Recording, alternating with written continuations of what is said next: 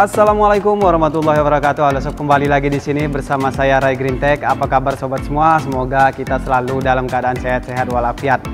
Selamat menyambut bulan suci Ramadan untuk umat muslim yang akan menyambut bulan suci Ramadan beberapa hari lagi ya sob ya. Mungkin sekitar 3 atau 4 hari lagi kita akan memasuki bulan suci Ramadan.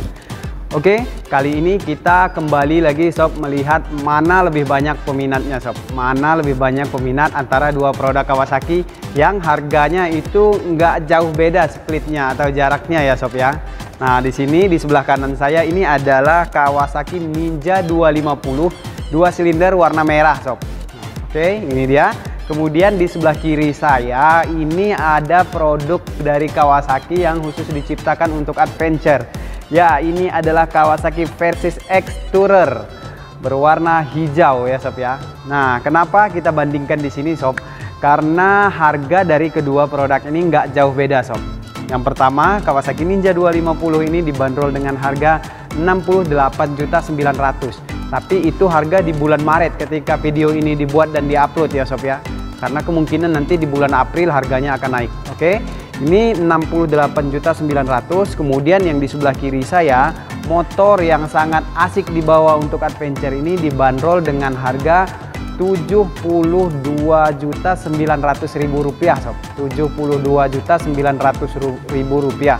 Jadi ya kita ambil di tengah-tengah berarti uh, mot kedua motor ini di harga sekitar 70 jutaan lah seperti itulah kira-kira ya sob ya. Karena jaraknya tadi nggak terlalu jauh beda mungkin dengan budget 9, 70 jutaan uh, mana lebih banyak peminatnya kira-kira? Apakah Anda memilih Ninja 250 dua silinder ini ataukah Anda memilih Kawasaki Versys 250 X Tourer ini sob silahkan ketikkan jawaban Anda di kolom komentar.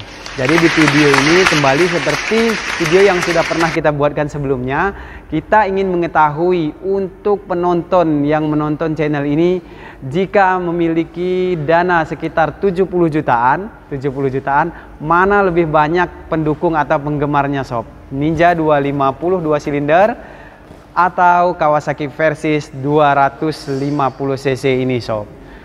Oke sob, nah kita lihat ke Ninja 250 dua silinder warna merah dulu sob. Kalau Ninja 250 ini sih biasanya jiwanya itu lebih muda ya sob ya. Mungkin anak-anak muda yang lebih suka riding untuk speed, kemudian untuk penampilan sporty, pasti pilihannya Kawasaki Ninja 250 ini sob.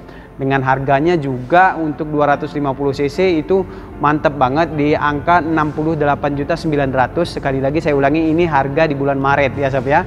68.900 ribu. Jadi nggak sampai 70 juta Anda sudah bisa memiliki Kawasaki Ninja 252 silinder yang cakep banget ini sob. Oke Nah, untuk pilihan warna di tahun 2022 ini sebenarnya ada dua pilihan warna, merah dan warna grey satu lagi sob. Oke, saya coba duduk di Kawasaki Ninja 252 silinder berwarna merah ini. Kira-kira seperti ini tampilannya sob. Ya, dengan tinggi badan 171 cm, kakinya nggak jinjit ya sob ya, menapak sempurna kiri dan kanan. Kemudian posisi ridingnya kira-kira setengahnya seperti ini, nggak terlalu nunduk sob. Jadi memang Kawasaki Ninja 250 ini nyaman sekali sob, sport yang nyaman sekali. Kemudian bobotnya juga ringan banget sob ringan ini bobotnya hanya 160 kg untuk yang non ABS ya sob ya oke seperti ini kira-kira posisi ridingnya sob Ninja 250 oke? Nah cukup untuk posisi ridingnya. Seperti saya sampaikan tadi biasanya anak muda nih sob. Anak muda yang suka tampil sporty kemudian suka speed juga kan? Ini adalah pilihannya pastinya. Jika diberikan pilihan dengan budget 70 jutaan, pilih mana antara dua produk ini. Oke, kemudian kita lihat lagi di sebelahnya ini adalah Kawasaki Versys X 250. Versys X ini udah jelas dari tampilannya juga cakep banget untuk adventure sob. Jadi untuk menikmati perjalanan-perjalanan jauh, kita lihat di sini juga tampilannya tinggi ya. Kemudian di sini sudah dilengkapi dengan side box atau saddleback ya kiri dan kanan mungkin bisa ditambahkan lagi top box untuk di atas nah biasanya pencinta dari model adventure ini itu adalah orang-orang yang suka menikmati perjalanan jauh dari satu kota ke kota lain atau uh, mengunjungi tempat-tempat yang banyak sekali tersebar di Indonesia ini tempat-tempat yang indah ya sob ya. Jadi Kawasaki Versys 250X ini pastinya untuk orang yang mencintai perjalanan-perjalanan jauh itu sob. Kemudian santai, posisi ridingnya juga sangat-sangat nyaman sekali, posisinya tegak banget sob. Uh, berbeda ya sob ya. Jadi keduanya ini adalah berbeda dari untuk modelnya sob. Oke, harganya tadi udah saya sampaikan 72.900.000 rupiah di bulan Maret ini. Oke, langsung aja saya tunjukkan posisi duduk dari Kawasaki Versys ini. Ya. Oke. Nah, motornya ini terlihat tinggi, sob. Tapi kalau saya udah duduk di sini sih uh, nggak nggak nggak jinjit banget ya sob ya dengan tinggi 171 cm itu masih cocok banget naik motor ini nah ini yang saya sebutkan tadi posisi ridingnya itu nyaman banget sob jadi memang nyaris tegak banget duduknya Kemudian seperti ini kira-kira posisi ridingnya sob. Nah di sini udah ada windshield ini berguna ya untuk uh, kenyamanan pengendara lah dari tendangan angin ketika melakukan touring-touring jauh ya sob ya. Mungkin kalau yang di Pekanbaru bisa melakukan perjalanan ke Sumatera Utara, ke Danau Toba atau ke Bukit Tinggi Sumbar ya sob.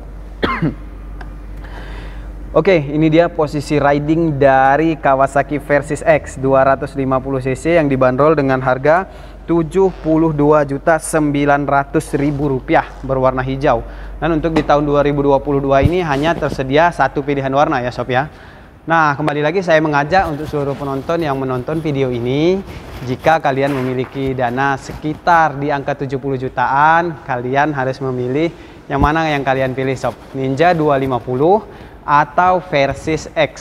Versys X Tourer 250cc ini. Isi jawabannya di kolom komentar supaya kita tahu sob mana yang lebih banyak peminatnya di antara kedua model ini. Oke sob, ini adalah seru-seruan kita yang kedua sob. Kita memilih uh, dua produk yang berbeda dengan budget harga yang hampir sama itu sob. Oke, kalau saya pribadi saya ini lebih suka kalau saya ke versi sob. Versis karena ya saya mungkin tertarik untuk mencoba menjelajahi alam-alam yang ada di Indonesia dengan motor ini sob kalau Ninja 250 sih oke okay juga gitu sob Oke sob, jangan lupa langsung aja ketik jawaban Anda dan tuliskan di kolom komentar Ninja 250 dua silinder dong atau Versys 250 dong. Seperti itu ya sob ya. Nanti kita akan kita ingin tahu uh, seberapa banyak peminat dari masing-masing model ini. Oke sob, mungkin itu aja ulasan kita pada video kali ini.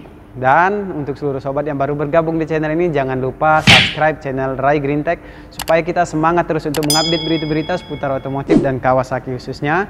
Kemudian follow juga Instagram Rai underscore Green Tech.